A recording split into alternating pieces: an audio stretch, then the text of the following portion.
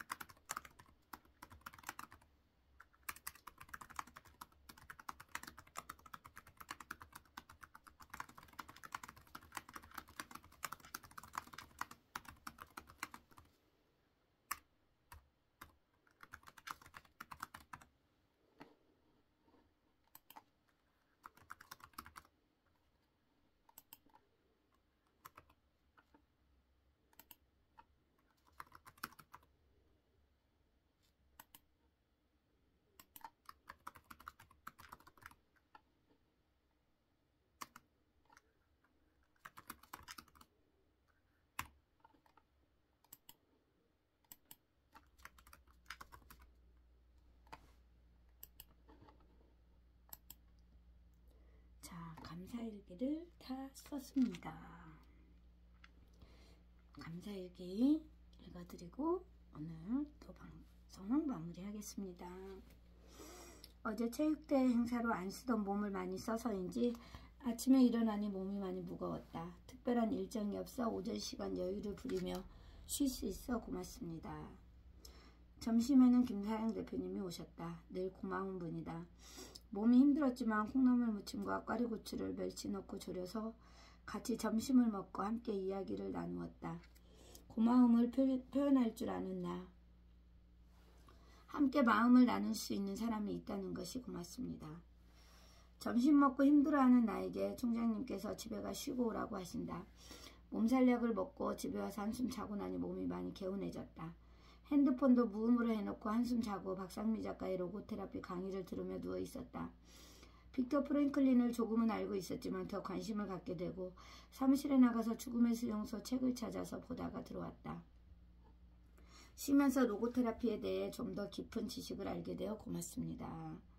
다시 사무실에 나가 저녁을 먹고 책을 보니 집에 들어오는 길에 책을 보다 집에 들어오는 길에 이문태 선생님과 통화를 했다. 2009년에 스피치를 배우며 만나 지금까지 인연을 맺어오고 있다. 내 목소리를 듣고 힘이 난다는 말도 고맙고 이제 자유로워져 다음 주 월요일 봉당에 온다고 하니 더욱 고맙습니다. 이렇게 감사일기를 쓰며 하루하루 도전하는 내가 좋다. 가끔은 약속을 못 지키면 어떡하지 하는 불안도 있지만 일단은 지금 내가 하고 있다는 그 자체로 고맙습니다. 이렇게 오늘도 감사일기 썼습니다. 화이팅!